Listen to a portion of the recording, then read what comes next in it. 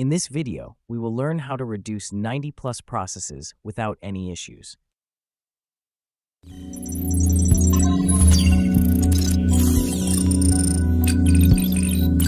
Download the software from links provided below. Now extract the file and start the installer.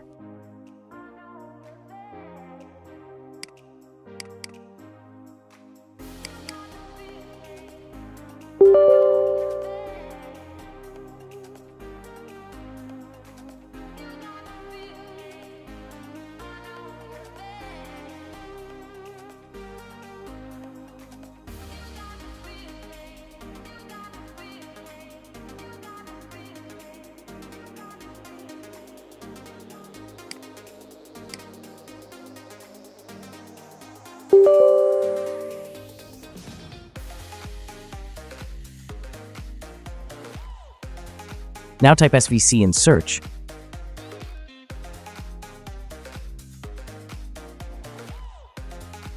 Now click on Set Above RAM option and reboot. To know what you changed, click on Learn More link.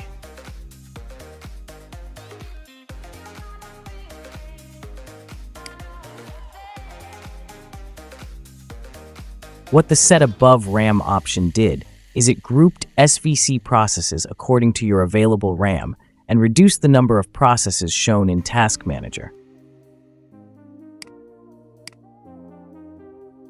After reboot process number will go down significantly depending on your installed RAM.